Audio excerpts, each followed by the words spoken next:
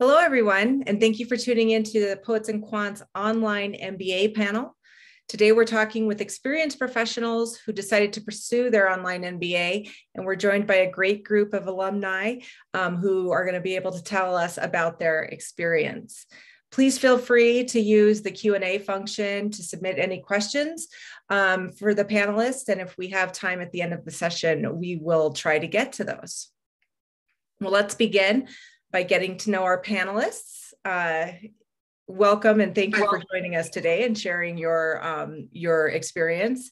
Uh, we'll start by just taking a minute or two to introduce yourself, tell us where you work, what your role is, your online MBA program, and if you'd like, please add a fun fact as well. Uh, so Leela, we'll start with you, please. Sure. Hi, thanks for having me here. I am uh, Leela Breithaupt, and I am the new executive director of the Bach Choir of Bethlehem, which is a nonprofit arts organization in Bethlehem, Pennsylvania, near New York and, and Philly. And um, I'm new. I just started this job in July um, 1st of, of last year.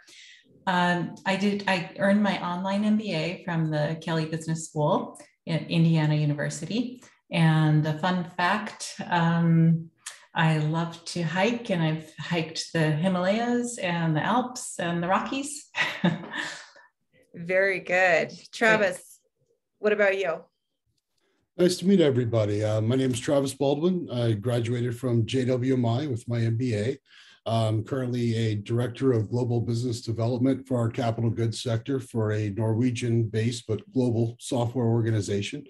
Um, I also sit on two boards and I've started up my own company as well. So pretty busy with all that. And I guess a fun fact about me is one of my early undergrads was in going to art school. And my ultimate dream is just to make enough money that I can retire and be a broke artist on the beach.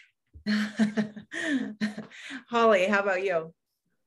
Yeah, thanks very much for having me. I'm Holly McKenna. I graduated from um, the online program at UNC Chapel Hill. Um, I'm currently the uh, VP of Sales and Marketing at Soofa, which is a seed stage startup born out of MIT um, and based in Cambridge, Massachusetts. We focus on solar powered advertising kiosks. Um, I was I transitioned into this role midway through my MBA, so it was it was quite hectic.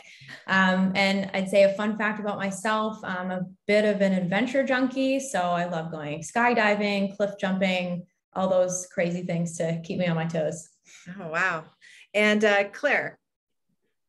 Hey, good afternoon, everybody. Thanks for having me here. It's nice to meet you all. My name is Claire Moore, and I'm located in Chattanooga, Tennessee. It's about halfway between Atlanta and Nashville, which you probably maybe heard of, not so much Chattanooga. But um, I'm in management and IT for a federal utility, the Tennessee Valley Authority, and we provide power to seven different states and about um, 10,000 employees. And as mentioned, I'm in IT, and I've been in this role since about August. Happy to be here.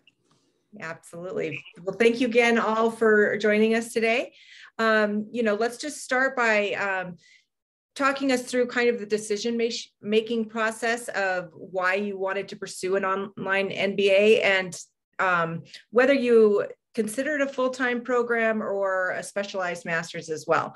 Uh, Leela, let's go ahead and start with you. Yeah, it's actually a really good question. I um, I lived in Bloomington, Indiana for 25 years. My husband is a professor at IU. And so when I was looking at an MBA program, I actually looked at both uh, because IU has um, the in you know the in-house program and then and then the online program. The reason I chose the online program is because my my fellow students would be at a, a um, more advanced level in their careers and I was far outside of um, being a student myself, I, having graduated, you know, a number of years ago. I wanted that kind of connection and teamwork environment with people who who were farther along in their careers and at a similar stage um, to me. And I also wanted access to colleagues, um, fellow students who were from around the world um, living around the world and not taking time off to, to study. So they were still in it. It made it very exciting. So that's what I'll share for right now. Absolutely. Travis, what about you? Well, I'd say very similar to Leah, and you're probably going to hear that theme, but it was the flexibility. I did look at a lot of brick and mortar, you know, traditional approaches. The problem was for me is I was very locked into my career already, which was requiring 50, 60 hours a week was pretty normal, plus a lot of global travel. I never knew where in the world I was going to be on a week by week basis. So the idea of showing up to a classroom every Tuesday at three o'clock for a lecture just was not going to work for me. So then it became the looking at okay, what are the online options or virtual options, things that could solve that. And I knew I still wanted a top tier school. So that definitely narrowed the scope down as far as candidates. So that kind of led me on that journey.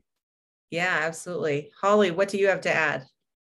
Yeah, it's a similar theme, but um, I'll go back to just my initial search. Um, I was at a company called Vistaprint for 10 years. It was the only company I'd worked for. I was mainly in a sales only track. So um, I knew I started wanting to look for an MBA opportunity so I could expand my scope and, and get into more more opportunities in, in my career. So um, that's what the impetus was of looking for it. And then um, I mentioned I was, um, my company is based in Boston, Massachusetts. That's where I lived my entire life. But um, I was actually planning on moving to Charlotte North Carolina. That's where my husband's from. So I knew I was moving. I knew I couldn't stay put in a certain place. So online was the only option. Um, and I also wasn't going to stop working either. So I needed that flexibility to continue, um, you know, working, and which is actually a huge benefit of this opportunity because you can immediately apply what you learn to your day to day work. Um, so that was huge for me. Right, absolutely. And uh, Claire, so I'll echo uh, what a lot of other people have said. The biggest thing for me was really the flexibility. I did consider doing um, a full time in person program, but where I am, the options for that were pretty limited. So online opened up a lot of different doors for me, and I knew that working full time and having a family, it would afford me, you know, a lot more options of when I had to do my schoolwork versus, as Travis mentioned, you know, being in a certain place at a certain time. Absolutely. Well, um, do any of you um, can you talk a little bit about the you know the calculations that you um, that you considered um, when deciding whether this huge investment would be worth it in kind of an ROI standpoint? And Travis, we'll we'll start with you.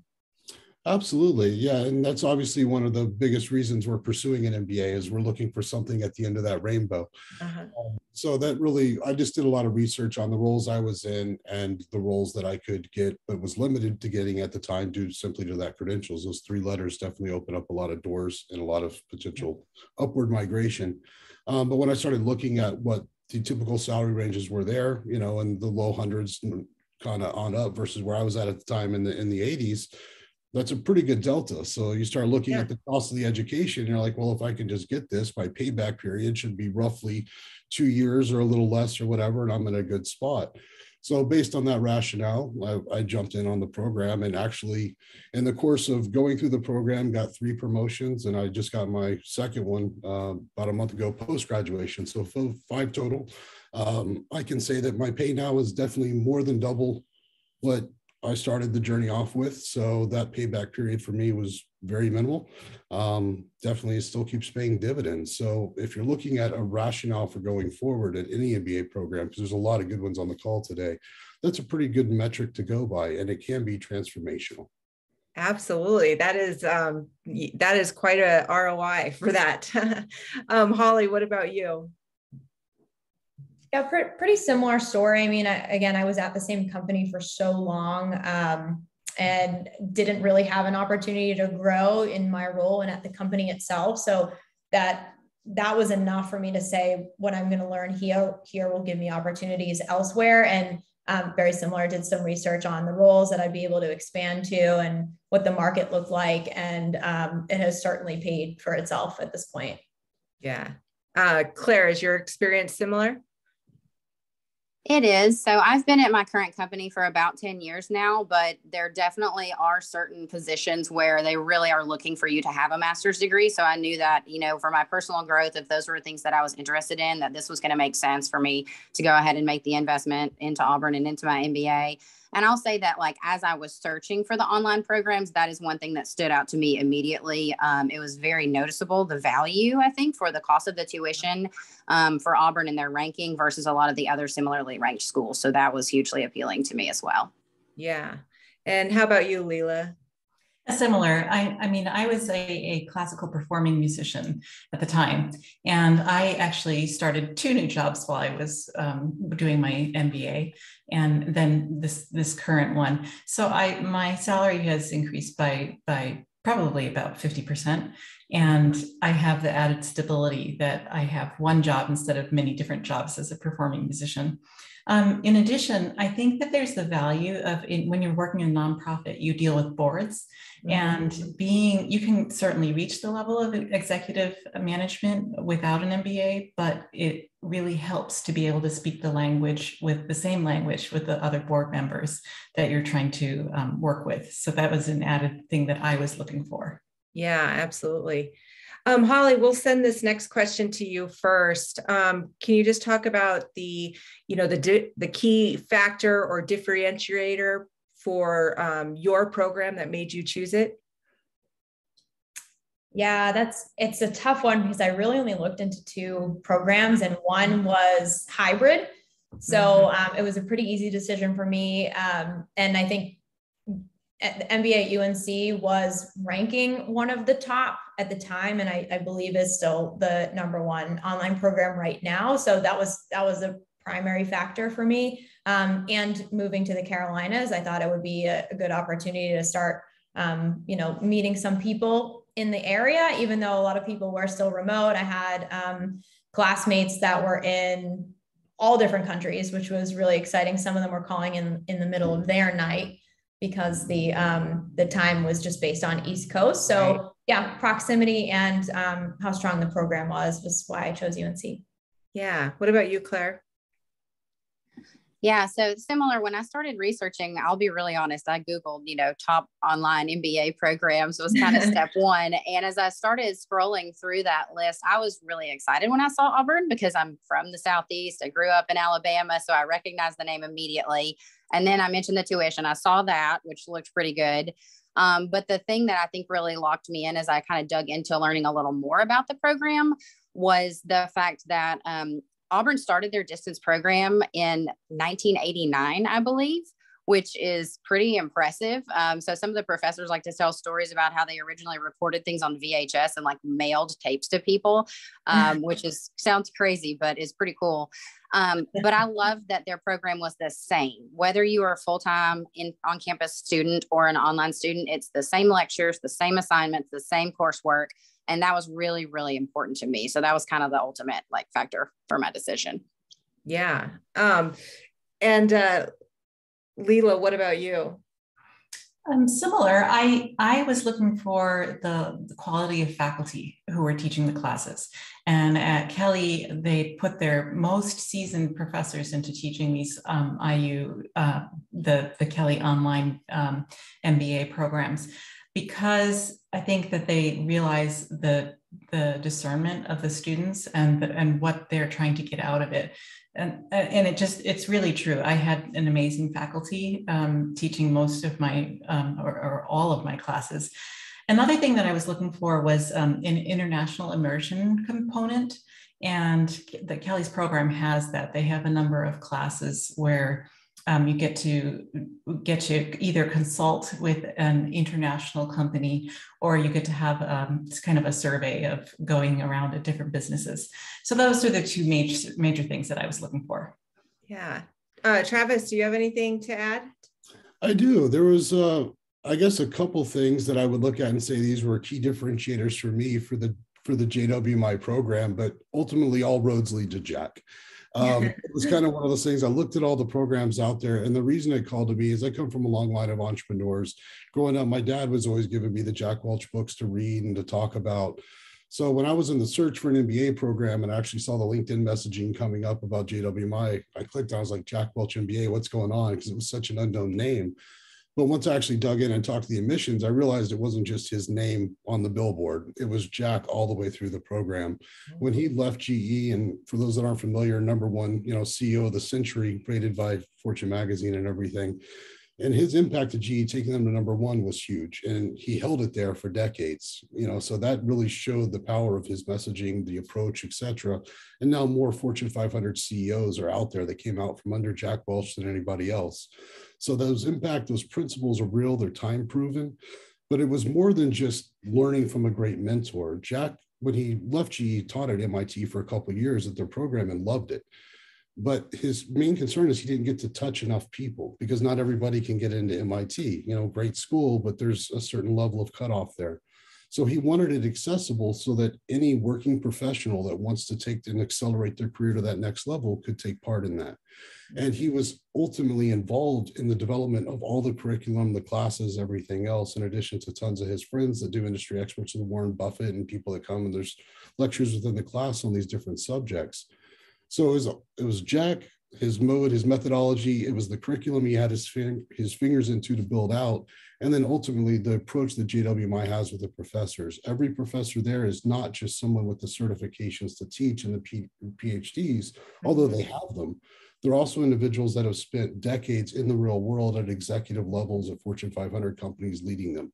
So in the coursework, the whole program at JWMI is designed to give you all the case studies and the knowledge and the tools you get with traditional MBAs, but then bring that to you via a professor that's been there and done that. It's not just case studies. It's when you try to implement, you've got to watch out for this. This is going to be the change management. These are going to be the hurdles. These are the things that are going to throw you off.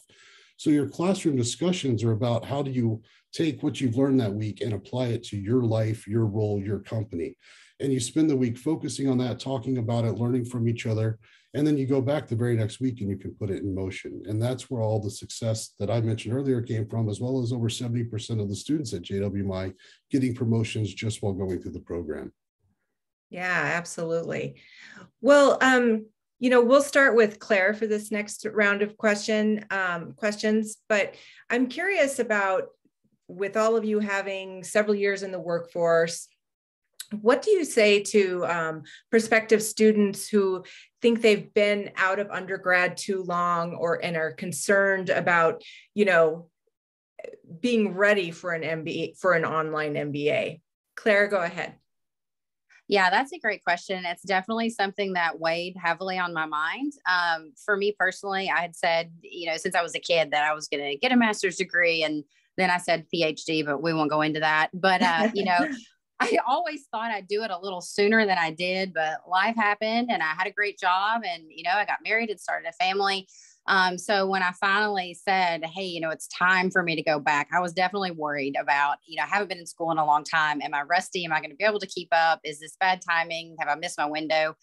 Um, I will say for me, what I learned really pretty quickly after getting into this program is that I got more out of it personally. I really believe that I did because I had that frame of reference. Um, there were many times in a team or you know or in a group assignment and we would be having conversations and there were some students who had come straight through which is also great. Absolutely nothing wrong with that. But i had a very different perspective than they did. Um, and so i grew to kind of appreciate that i had given it a little time in between because i think it really helped me walk away with even more absolutely um, leela was that did you find a similar experience Definitely. Um, I'm a lifelong learner, as I think a lot of us are. And you get so much out of life if you look at it that way. And you don't look at the deficits that could come from being out of school for a long time. You look at what you've done during that time, all the skills, all the experience, and the, the kind of hunger for learning more. Yeah. And I think if you approach um, a new study after you've been out of school for a long time with just an openness and a curiosity, you're going to go very far. Yeah. Yeah, absolutely. Uh, and Travis. Yeah, ultimately when I when I hear questions like that, because I, I am heavily involved in our, our you know networking and stuff still with the school and a lot of students coming in and people looking at the program and we do hear that question a lot from people believe it or not working professionals but for me when i hear that question it's almost like the iceberg because what i'm really hearing is not should i but do i have the confidence in myself to move forward Mm-hmm. And I think for everybody that's listening on this call, I will say, regardless of the MBA program you pick, assuming it's accredited, it's a quality one like the ones on these calls, you can't go wrong with improving yourself and investing in yourself for tomorrow. So the only thing that you're putting off by not choosing to go forward is the potential of what you can be, your best self, and the doors that are going to open up for you. Absolutely. And Holly, anything to add? Yeah, I definitely agree with everyone. Um, I had the opportunity. I went. I did my undergrad at Bentley University. It's a small business school um, in New England, And I actually was enrolled in the five year program, is what they called it, which was an immediate MBA for one year right after undergrad. And I am still to this day so, so glad that I didn't move forward with that um, because it really would have just been continued classes a little bit more difficult than what I had just learned in my undergrad because it was business based. Mm-hmm. Waiting many, many years after and then enrolling, I had, just like Claire said, I had a framework to actually apply what I learned immediately. Um, and and to that end, and kind of going back to what Travis mentioned, it it doesn't really matter what time or how far along you are in your career. I loved that within the program there were individuals at every stage of life every age you could imagine uh, because it really helped me learn. I learned from every background. There were um, many different military folks in my program, um, doctors, people from you know healthcare, people that had absolutely no business background, and other people that had been in business for 20, 30 years. So um, that actually enriches the program, and I, I, love that part of it. So doesn't matter um, how far along you are, just go for it. Yeah, great advice. I think for a lot of things, um, not just going back to school. Um, Lilo, tell us, take us a little bit inside the program um, and the learning experience. You know, what were the classes like? How how were you able to interact with professors and classmates in the online format? So the, the classes were um, typically uh, synchronous. There were very few asynchronous classes. Mm-hmm. And I had to kind of work them out when I was picking which classes I would put in, um, in the order that they would fit into my schedule. Um, there were some asynchronous sections, but largely class uh, classes were in person. Um, and then a lot of teamwork. So if you have a team with people in Europe, people in Asia, people in the US on both, you know, like on both coasts, it's it becomes part of what you learn in the class to figure out how to manage, you know, um, everybody's time schedules and still get the um, deliverable done. um, the other thing that I wanted to mention there is that the teamwork aspect to the classes was really stressed at Kelley. And I um, appreciated, I think Holly mentioned how much she learned from other people in the class. I, I can't stress that enough. Uh, you probably will learn more from your compatriots and, and your fellow students than you will from your professors or from reading any books. And that's just um, a benefit of being in, exposed to all these different kinds of people in, in these online programs, in the online MBA programs. Yeah, absolutely. Uh, Travis, what was your classroom experience like? Fantastic. Uh, very similar in some ways to what Leela described, but the difference with JWMI is the model of education is designed to make it uh, digestible for you when you're ready. Mm-hmm. It is mm-hmm. a completely virtual environment. Everything is asynchronous so that you are able to get in when you're at your best or when you have the time that day to get into what you need to do. So the way the courseworks are set up, it's on a quarter system. You get 10 weeks of class, a little two week break, and it, it rolls over throughout or three weeks, I guess, how it falls over. Um, but the coursework itself, there's you get videos with the professors, the presentations, stuff from Jack Welch, stuff from other CEOs, Warren Buffett, etc. You watch and material case studies to read, etc. All the usual stuff, and you're able to digest that at your time and watch the videos, the recordings, the lectures on your time as it suits you as well. And then you go into the discussion board where you talk about the questions posed for the week, the lessons learned, what's going on, and then how those directly apply to you and the questions back and forth with your course, your classmates. I had some concerns about that at first because I really felt that being used to a brick and mortar education style, I really thought I was going to be missing a lot of components with that. Mm-hmm. Um, it was a good program and I needed the flexibility. So I jumped in and I'm glad I did because what I realized is it's actually very immersive, uh, which was quite surprising because those discussion classes, when you're interacting, JWMI is number one for diversity because the, the student body thousand, you know, spread all over the world. But that's what makes it so great is you have people from all different walks of life, different cultures coming together, different perspectives, approaches to solving problems. And all this goes over to what Holly was speaking about earlier with broadening those perspectives, your, your your problem solving capabilities and you're learning from each other. And like layla mentioned almost just as much as from the curriculum and from the professors. Yeah. So they're getting world-class professors number one three years in a row. We're very proud of that but they have the competencies you know what their their degrees but also the real life experience to bring that to the table you're surrounded and immersed by tons of type a's and people in all different walks of life coming and bringing this in then you've got top flight curriculum going along with it so it's an incredibly immersive experience but the beauty is you can do it when you're ready. You post a question up or an answer to something at 10 a.m. Maybe that person doesn't respond till what becomes 3 a.m. your time because they're on the other side of the world. But you see that, you post, and you go back and forth, and you're having real discussions. And in a brick and mortar classroom, what you typically find is the professor speaking, everybody's busy trying to write your notes, get it all down, and you meet afterwards to go over stuff and try and study. And you might have the same four or five people constantly raising their hands up whenever the professor asks a question. Well, the vast majority of either introverts, or everybody else scrambling to take notes is just in the back trying to soak it all in. But the beauty of this model of JWMI is everyone has a voice.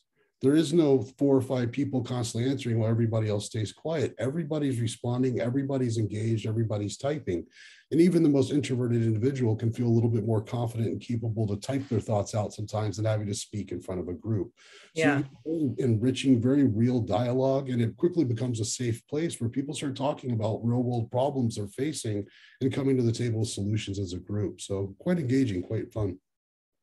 Holly, did you um, have a chance to answer this question yet? I I kind of lost track. Not not yet. Um, mine is is kind of a mix of the previous two. So uh, once a week we had live class. That was our synchronous class. Um, and everybody needed to be there and everybody needed to participate. So that was every single class, no matter what the subject was, you needed to participate, and that was part of your grade. So if you sat there behind your screen, obviously had to have your camera on um, and didn't participate, you could potentially fail the class. Um, so at least once every single class you had to participate in the live session. Um, prior to every week's live session, you had to do your asynchronous work, which was it ranged between I'd say two and five hours per class per week. And that was recorded videos of the professor, um, potentially activities that you'd have to do in between. And then projects would be due that were every single subject also had a group project even for something like accounting or finance, you had a group project for all of it. Um, and that's when, you know, it, very challenging parts of the mm-hmm. night or even really early in the morning, depending on who was in your group, you needed to set up a meeting time and hop on a Zoom. And that's when you learn the most. So it was super immersive, even being completely virtual. Um, so I was yeah. even with you know having to do all the networking remotely, um, I was able to meet hundreds of people that I worked with throughout the couple of years that I was in the program.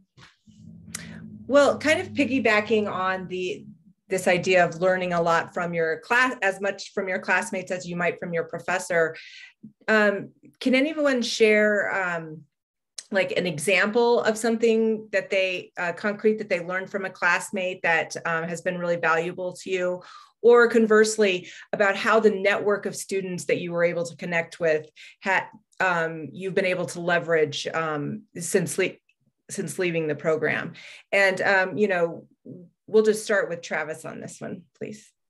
Uh, certainly. Well, from a networking perspective, there's been a lot of fun things happening at JWMI. There's we actually had 77 different networking events last year, even during COVID. So it's a very engaged community. Mm-hmm. And the nice thing about that global environment is the alumni actually stay heavily involved as well. So even as a student, when you're coming to the networking, you're getting to meet not only alumni, but current students and also people from the other side of the world who you may have never went through the program with or anything else. So it's a great way to connect.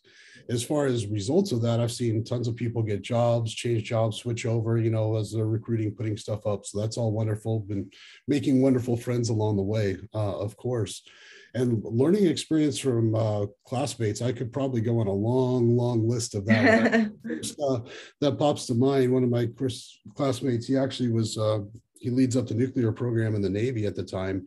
And we were in the strategy class talking about financing and specifically pricing strategies or sorry we were in a strategy class talking about pricing uh, moving that through and we were going on a, a, particular case study at the time with GM and a new pricing of a vehicle, and should you lower the price, raise it, whatever. And mm-hmm. uh, he ended up coming in with something they were looking at with a cost analysis point, and that led to one of our professors, uh, Professor Brooks at the time, who was the ex CFO of Procter Gamble, and he kind of started talking about cannibalization of your own market share and, and how that affects pricing strategy. So this was totally off the curriculum and everything else, but it ended up leading to like this 40 thread engagement of all these people coming and all this wonderful stuff from it. But I think it's that flexibility in the program to take a topic and in that dialogue and in that DQ, it just kind of becomes alive. And where it goes, it goes. You know, the professors there yeah. put guardrails up, but it really is that immersive learning experience that I think Holly was mentioning as well with those team environments where you're really kind of set with people and exchanging things. And you just get find yourself so engaged. You're actually looking forward to those DQs every week because you always walk away with nuggets of knowledge beyond just the curriculum. Yeah, Holly, what would you what would you say about um, you know, taking something from a classmate yeah, I, I, probably should have added this as my fun fact, but um, my husband was also in the program oh. at the oh. same time. And so we would call in from different sides of the house. We tried our best to not be enrolled in the same courses, but there were a couple that we ended up being in the same ones and staring at yeah. each other on the screen. So it was it was fun dinner talk when we had to start talking about uh, the case studies that we were reading every single week and deciding what um, we agreed with and what we didn't. But um, but yeah, similar to Travis, I could probably go on um, a long tangent about what I learned. But I think what was most interesting was in classes like corporate strategy, where I come from a more business background and had been in a, an e-commerce corporate environment. When I heard how um, folks that were in, you know, the healthcare industry or in the military in particular talked about how they transitioned into mm-hmm. the corporate environment or gave examples of how that, you know, overlaid into their environment was just so completely different and new to me that I had I had no exposure to before. Um, so just learning about a, a, different world was really valuable to me. Yeah. Uh, Claire, do you have something to add? Sure, I'll just share. Uh, so Auburn's program is actually entirely asynchronous for the online portion. So um, just to touch on that last piece, it's, it's kind of interesting the way it's set up. I mean, you do have deadlines and things, but you're very much allowed to work, you know, kind of within the window of your own pace. Mm-hmm. Um, every class did have a team component, and what I would say I learned was associated with that team component. So I've been you know out in the world for a number of years worked with lots of different people. But in these particular instances uh, it became apparent really really quickly that i wasn't going to be good at everything or be the best at everything. So so for me i think recognizing that it's okay to be okay and i think organically in getting a master's in business administration you know a big piece of that is is leadership and how do you lead and motivate a team. So learning to kind of identify people's strengths and then match up team kind of deliverables based on what each person was really really good at is something i didn't really expect to learn or think about but that i think i walked away with a lot more experience in so i appreciated that a lot. Yeah. And uh, Leela, what about you? I could tell many, many stories, but um, I think I probably would say, uh, with, well, with Kelley, I mentioned that a lot of it was synchronous, and and Holly, yes, we did have all the deliverables that were asynchronous, and and all the work that was asynchronous in preparation of the synchronous classes. But in addition, we came together um, for two weeks over the two years of the program for a one week immersion, um, each for twice. Um, so we would do a case study competition together, and you'd be thrown together with people who you'd never met before, and and go through the entire week and become really close with that cohort of um, people who were in that immersive program. So the networking, as as um, Travis mentioned, is ongoing and we are there for each other. We're a support network for each other. I'll just point out a couple of really um, meaningful people that I had met and, and um, things that I've learned from them. One was the, the former ambassador to Thailand. He was in my um, consulting class. Oh, wow. and so I learned a lot about um, negotiation and understanding um, people from different cultures uh, from him. And it was just fascinating to listen to his perspective. And we are um, friends to this day. So it's, oh, it's fun to. Another one was um, I was nervous to take my quant class because I had never had anything like that before, being, you know, having degrees in classical music performance. Yeah. so, um, I told he was in my ops class, a teammate in my ops class, a, a guy who worked for Northrop Grumman at the time, and he said, "We're going to get you to love Excel." So, so we teamed up. We, it was just a two-person team in um, in the quant class, And I have to say, just having a person to work with and kind of um, bounce ideas off of who was so familiar with that kind of um, subject material was really beneficial but because i was so new at it i had a i was i was very detail oriented and i always read the instructions really really well. So i caught mistakes that he made because he was you know yeah. so, so comfortable with it. So it, just the supportive environment and the networking i think is helpful but you can't help but but learn something from each other. So i, I think that's a really beneficial part to this as I said in the beginning, to having um, colleagues who are really well versed in what they're doing and out there in the world doing it. Yeah, absolutely. Um, well, Claire, we'll move on to, I guess, probably a question on a lot of people's minds if they're considering um, doing an online MBA. What are your uh, tips and tricks for balancing it all? You have work, uh, school, family, and personal lives how what advice do you have for managing all that together claire Sure. So, one thing that sounds really simple, but that was absolute survival for me was using my calendar. Um, it's not a complicated solution, but it's incredibly effective. I was very fortunate that I had, um, you know, a manager and an employer who's incredibly supportive of me pursuing my education. But at the same time, obviously, I still had a job to do and deliverables that had to be met in that space. Mm-hmm. So I was able to kind of squeeze in um, times that that I had available to work on coursework, and then obviously in the evenings, um, did a lot of schoolwork after my kids were in bed. It's just a reality, but that's okay. Um, but one thing that I, that I think I learned to prioritize along the way was just some time for me. Um, and I would encourage anybody who, you know, pursues this or just in general in life to make sure you do that as well, because your, your mental and physical health is incredibly important. I think we've all seen that in the last couple of years with COVID. Um, so something I started doing was intentionally taking time for me to just go and get some physical exercise. And I would recommend that to anybody. I think it probably saved my sanity. So that's something I would consider. Great, great, great piece of advice. Lisa, what about you? Yeah, I think that time management is a key issue. Also, we studied a lot about um, being efficient and efficiency. Well, I think my efficiency level increased by 100%. so, and part of that is that you learn not to be a perfectionist. Mm-hmm. Um, studying classical music is all about being a perfectionist. And so t- flipping that on its head and learning, you know, the 80 20 rule, I, I, had never heard of that before. So, so it was a, a, world opening to me. And I had to figure out how to get everything done in a limited amount of time and still keep my sanity, like, like uh, Claire was mentioning.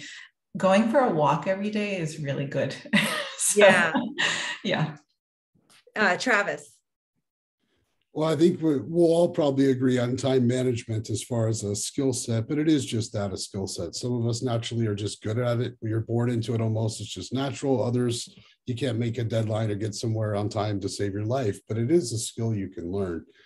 I would just say more than that, though, because that's something I think um, Claire mentioned very well with the calendar. It's such a powerful tool. But for anybody looking at the programs out there and saying, is this the right time for an MBA? Can I take this on? The easiest thing to do is just look at your life right now and think you know 10 15 hours a week probably for any of these programs would be a sufficient sufficient amount of time to consider towards your coursework and say look at my day to day. Where am i spending my time on a weekly basis? I guarantee all of us can find things we could trim out or move around. And that's what it really boils down to is is this a worthwhile activity for you to put your time and energy into and if yeah. you're going to pursue an MBA, which is one of the most prestigious business degrees out there, you're going to make an investment of time, energy, and money. So why not nurture that investment so that it pays off threefold and it's worth your time and energy to do it? So, like anything else in your life, if it matters to you, you make the time. And that's just the reality of, of juggling everything we juggle in the real world. And this is something that I think everybody will agree with.